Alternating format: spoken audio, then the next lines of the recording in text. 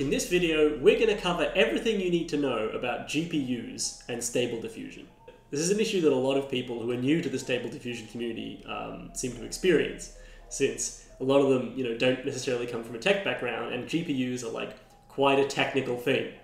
Uh, as you can see by that graph, you know, that looks pretty technical. Luckily, though, once you have an understanding of what a GPU is and what the best ways to access them are, the decisions you have to make are actually not that difficult. And at the end of the day, as long as you're not doing anything too crazy, the expense won't be too much. So here's what we're going to do in this video. Firstly, we're going to talk about what a GPU is and why it's important for running Stable Diffusion. After that, we're going to just cover the general considerations you have to take into account when deciding what kind of GPU to, to get a hold of. And finally, at the end, um, using my wealth of experience as like an AI practitioner, um, I'm going to give you some concrete recommendations on exactly the products that you should probably uh, you should you should get. Before I go any further, I want to quickly mention that this video was prompted mainly by PeePa and another member from the Discord called Ceaseless Vibing. Um, together, the three of us created this guide. We're calling it the No Man's Guide to GPUs, and basically all the content that is going to be covered in this video is already here inside this document. So if you're like more of a ready person and less of a listeny person, then just go click on the link, it's in the description, and then just give yourself a read. Basically, once you finish it, you'll know exactly how to find the GPU that's best for you. But if you're more of a listeny guy, let's get into it. So, like, we've all seen the GPU, it's one of those boys. Um, but why is it important for running Stable Diffusion? Well, basically, your computer already has a processing unit called the CPU, or Central Processing Unit. Um, and a GPU is just a fancy, different version of a CPU that's really good at running specialized computations. And it just happens that those specialized computations are really important for running Stable Diffusion quickly. So, a GPU is just a specialized processor that you sort of need to run Stable Diffusion. You don't actually need it though. You can run Stable Diffusion on a CPU, but it does run very, very slowly. For instance, this Reddit user uh, ended up managing to get Stable Diffusion running on a CPU, and it ended up taking him 5 minutes and 30 seconds to generate 20 steps. Uh, and so that's, that's actually pretty quick. Usually you'd want to do about 30 steps to generate an image. Um, but that's sort of the minimum. And so that's sort of what you're looking at, 5 minutes per image on a CPU. So basically, don't do that. Don't do that at all. Things are improving, obviously, and I'm sure that there's a way to get it running faster than this on a CPU, especially if you have like a big chunky CPU. But essentially, that's why you need a GPU. Because if you try to run stable diffusion on a CPU, you will have you'll have a bad time. Okay, so that's the first one out of the way. Now, how do you decide what GPU to get? Okay, well, basically, I've just made this flowchart, and I think I think it pretty much covers everything you need to consider. So we've arrived at this spot where we're like, yep, I want to run stable diffusion on a GPU. So now there are a few decisions we have to make. And the first sort of important one is around what kind of GPU we want. In particular, we want to decide which manufacturer to go to, what series of GPU to get, and how much RAM to get on that GPU. There are basically two GPU manufacturers. There's NVIDIA and there's AMD. And Unfortunately, it turns out that AMD is just not very good for running stable diffusion at this stage. They're making progress, but as of October 2022, you want something from NVIDIA. Again, there's more on this in the guide, but take it from me, just go with NVIDIA, it will save you so much headache. Okay, so we've decided that we want an NVIDIA GPU. The next question is, what series of GPU do we want? And I sort of touched on this in an earlier video about how to install xformers, which if you're a bit more technical, you definitely do want to install xformers because xformers is really good. But basically, NVIDIA has like come out with multiple kinds of GPUs over the years, and some of them are really old now. And you just want to make sure that you're buying a GPU from one of the newer series, otherwise you might have some difficulties. Basically, you know, long story short, what you want is something from the Pascal, Turing, or Ampere series. Basically, that's one of these guys. If you're buying a consumer grade GPU, that'll be the 10XX, 20XX, or 30XX GPUs. There are some larger server GPUs as well, though. So series or, or micro architectures, as they're sometimes called, can get a little bit complicated. but you basically just want a newer GPU made by NVIDIA, something released in 2016 or later. And as long as you have that, then you're okay. The final question to ask is how much RAM do I need? So RAM stands for random access memory, and it basically refers to how many things the GPU can do at once. Um, another way of thinking about it is how big of a model can I hold in my GPU at a singular time? So me, Ceaseless Vibing, and PeePa went ahead, did a lot of research, and we compiled this nice table which dictates how much GPU RAM you need for different applications of Stable Diffusion. So, for instance, if you're just having a poke around, just doing normal text to image stuff, all you need is 4 gigabytes of RAM. When things get a bit more complex, like you want to retrain with Dreambooth or textual inversion, there's a, there's a bit more going on, and as a consequence, you need a bit more RAM. But basically, we found, and this was kind of surprising to me, that there are no common use cases for Stable Diffusion that take more than 8 gigabytes of RAM, which is like really good news because most GPUs have 8 gigabytes of RAM, uh, unless they're like a laptop GPU. A lot of them have like way more. So that's both interesting and good news. That all you really need to run Stable Diffusion is 8 gigabytes of RAM. Okay, great. So now we know what manufacturer, NVIDIA, we know what series, uh, one of the recent ones from 2016 onwards, and we know how much RAM, 8 gigabytes. Or, you know, 4 gigabytes is also fine if we just want to play around, but probably you want 8 gigabytes. Okay, now comes the big question. Do you rent a GPU or do you buy a GPU?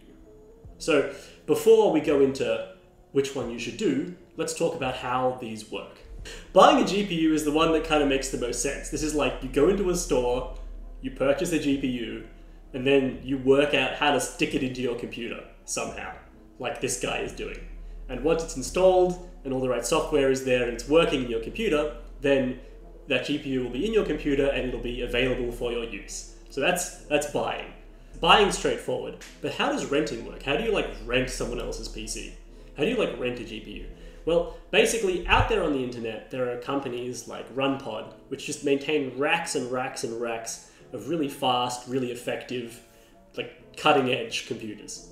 And for a small fee, you can connect your computer to that computer, and then your computer can send requests of any nature to that really fast, really powerful computer, and those requests will be fulfilled and the responses will be sent back to you, to your PC. So even if you have a PC that doesn't have a GPU, maybe it's like 10 years old and filled with rats, that's fine. You can just connect to the PC run by RunPod, which is not full of rats, and it's got like the latest GPUs, got the latest everything, and you can just ask it to do things on your behalf.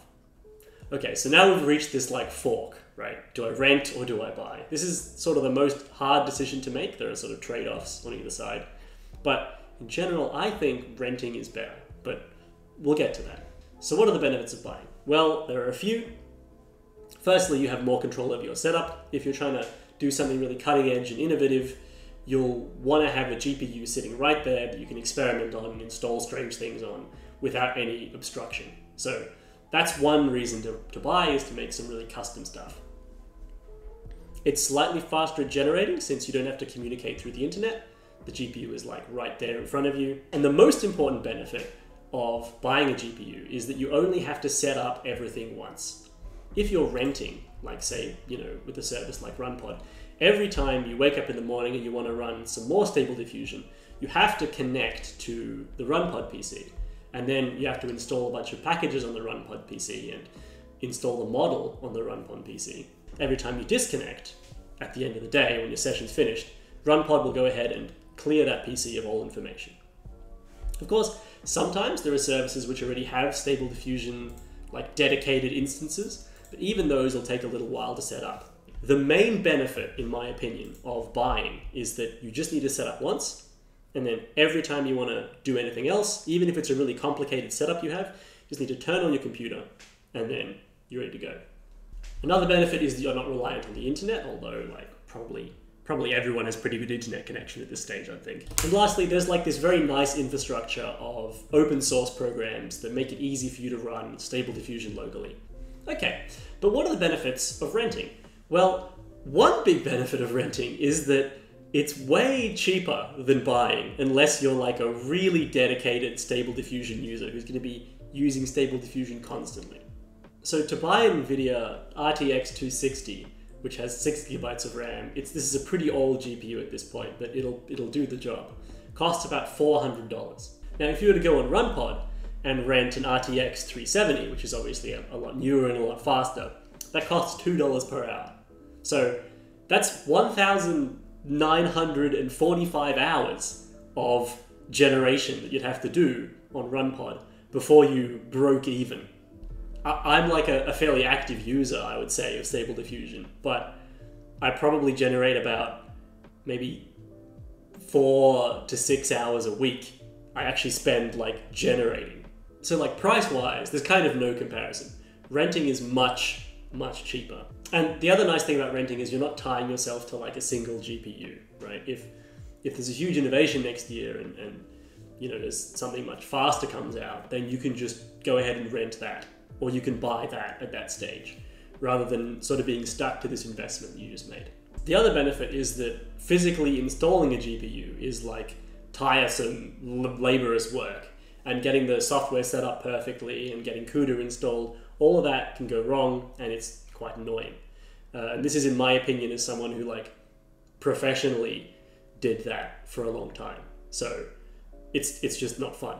Uh, whereas with rental services, often the GPU software like CUDA comes installed already. So all you have to do is you you connect to the PC, and the PC already has a GPU installed, it already has everything set up. You still have to install Stable Diffusion and any sort of related packages you want to use with Stable Diffusion, but the basic GPU infrastructure will be there for you. And there are even some services out there which allow you to rent like a Stable Diffusion preset PC which means that Stable Diffusion is actually already installed on the PC and all the libraries required to run it are installed. So all you have to do is sort of turn it on and, and start generating. Lastly, when you're renting, you have like this flexibility of being able to access really big GPUs for like a little bit.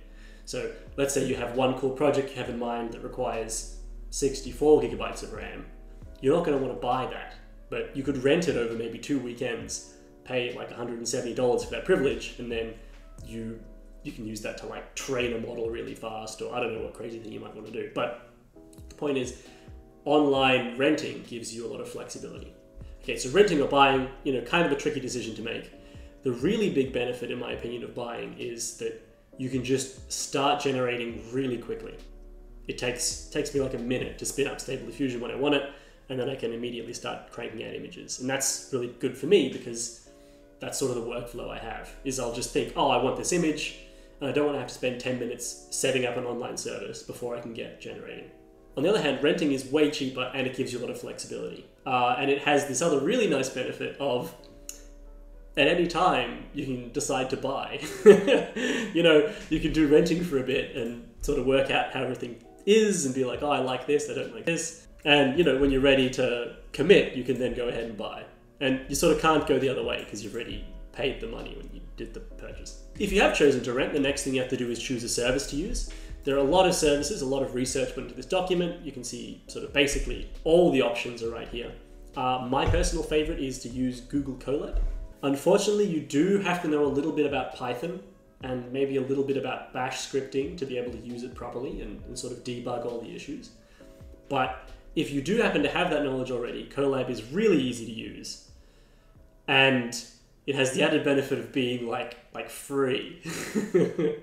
Google, Google literally just gives you access to their GPUs on the servers they maintain for free for like you know for a few hours as long as you don't abuse their service too much, uh, which I think is really like that's just so cool. So talking about price, Google Colab that's that's zero, zero dollars for Google Colab.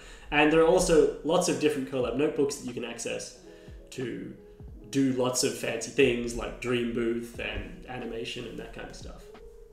So you can get pretty far with Google Colab. Uh, there's another free notebook option, which is Kaggle, so that's that's also worth looking into.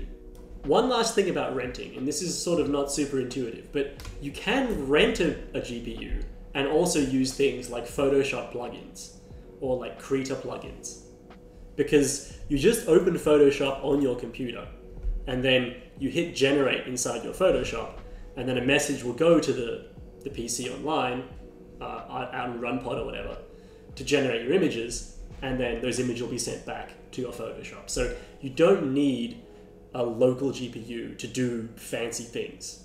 In fact, basically anything, as long as it's not too cutting edge, that you can be done locally can also be done through a rented GPU.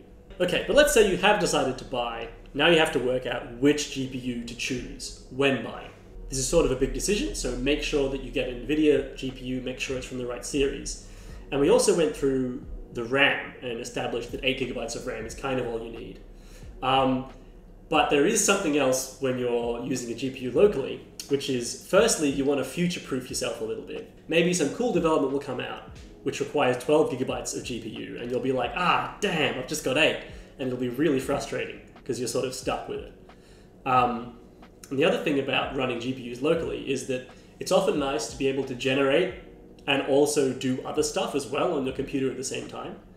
And if you just have 8 gigabytes of GPU and all 8 are being used up outpainting, then your computer's going to get really slow and you might have to close everything else as well while the outpainting is happening. Based on all that, what I would recommend is getting a 16 gigabyte GPU, or maybe 12, but I would recommend 16 gigabytes, and that will probably keep you safe for the next two to three years.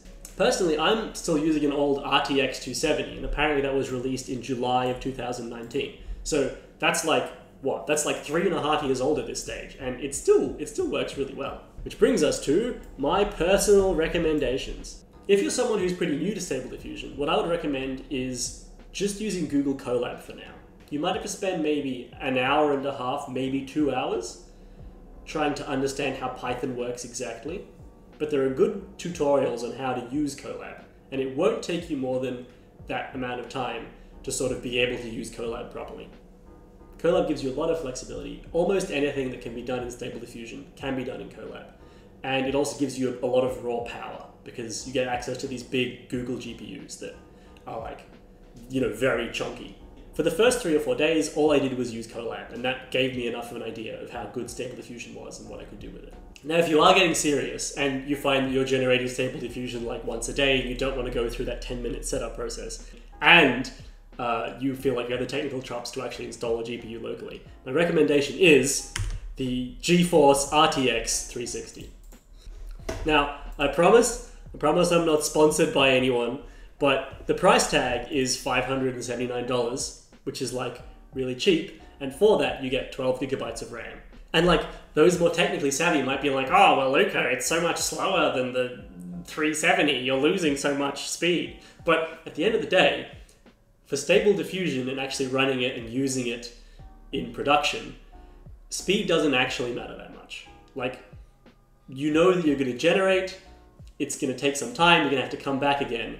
And whether it takes like 90 seconds or two minutes doesn't really affect your workflow that much. So, on that basis, I reckon that the, the RTX 3060 is definitely the way to go. The 12 gigabytes of RAM gives you like a reasonable amount of future proofing, and at the moment, it means that you can generate on the one hand, while at the same time, I don't know, like recording a video or having Photoshop open or something like that. Okay, and uh, that just about wraps it up, hey? Um, again, the guide, really helpful. Huge thanks to Ceaseless Vibing and PeePa. The guide was definitely a joint effort, and it's definitely worth checking out. There's a lot of detail in there, there's a lot of links that are useful. If you have any questions, as always, YouTube comments, Discord comments, bloody